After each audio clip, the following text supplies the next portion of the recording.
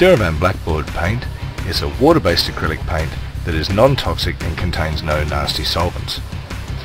The Derivan Blackboard paint can be used to make all sorts of different chalkboards for around the house, and not the least of which is for those times that textas and pens might be damaging and very messy on upholstery.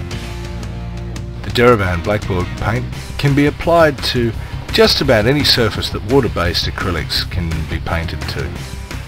So MDF, wood and plywood can all be painted on using a brush or roller.